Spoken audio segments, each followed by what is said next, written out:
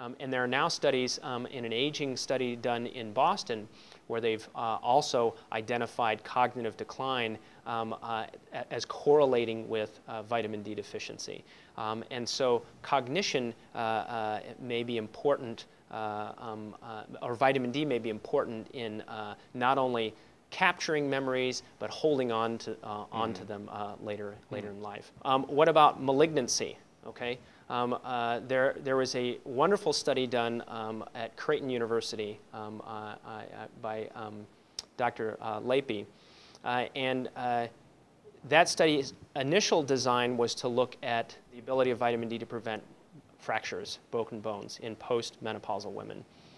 Um, and what they found as their secondary outcome was that it actually reduced the likelihood of any reported cancer over four years of follow-up by some 70%, 76%. Wow.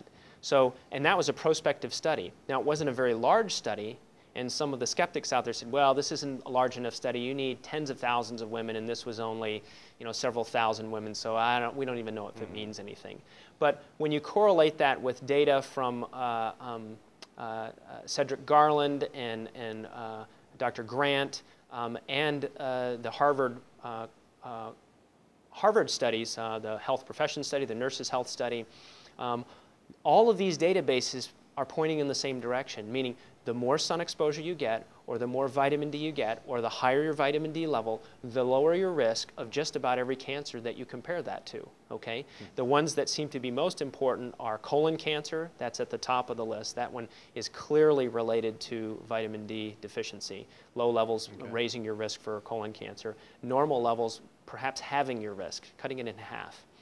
Um, uh, less so prostate and breast cancer are associated with vitamin D deficiency. And then you can look at lymphoma and leukemia and a whole host of other uh, cancers. And so there seems to be a relationship between your risk for cancers of many types and uh, vitamin D deficiency, risk going up as D levels go down.